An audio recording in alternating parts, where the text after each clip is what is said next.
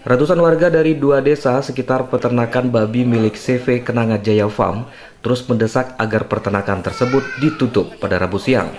Warga kembali mendatangi peternakan tersebut, meminta agar seluruh babi segera dipindahkan. Dalam aksi tersebut, salah satu warga dari desa Parit 7 Kenanga bersitegang dengan pengurus peternakan babi milik CV Kenanga Jaya Farm Pasalnya warga kesal bau yang ditimbulkan dari peternakan babi kian menjadi.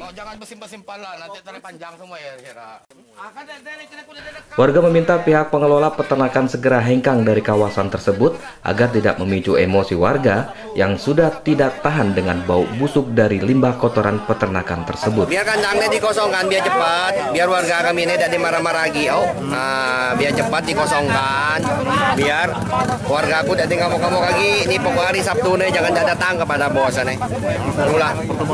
Oh, pertemuannya sini jam 10, jangan sampai tidak datang lah. Kalau datang? datang kita tidak tahu lah apa kejadian lah menwarga aneh lah ngamuk kau. Terima kasih. Terima lah. Hah? Babinya bertambah lagi nggak ini? Ini sementara ini jangan tidak ada bertambah, ternyata kan bertambah lagi ya. Bertambah babi ya, oh bertambah lah babi ya. 700 lebih.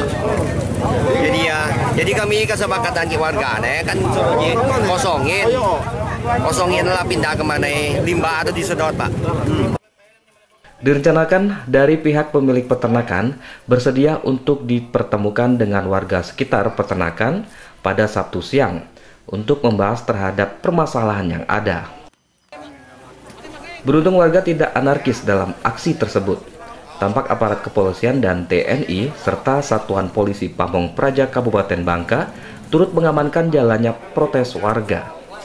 Dari Kabupaten Bangka, Bangka Belitung, Endang Kurniawan, dan Gogon Prasetyo melaporkan.